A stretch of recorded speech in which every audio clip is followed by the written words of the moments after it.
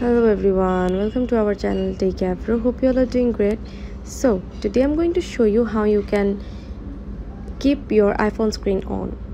So go to settings go to brightness and display and then from here go to auto lock and set this as one minute two minute or three minute or never. If you set this auto lock screen to never your screen never turned off. So this is how you can keep your screen on.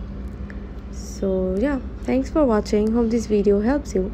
Don't forget to subscribe to our channel and don't forget to hit the bell icon button. See you in the next video. Bye bye